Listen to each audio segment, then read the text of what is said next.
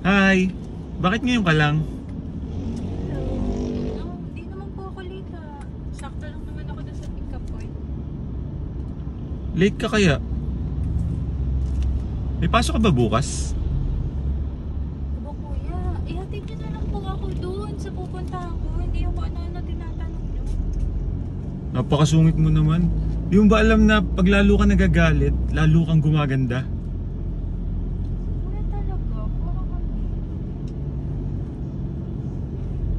O siya, sige. Bye-bye.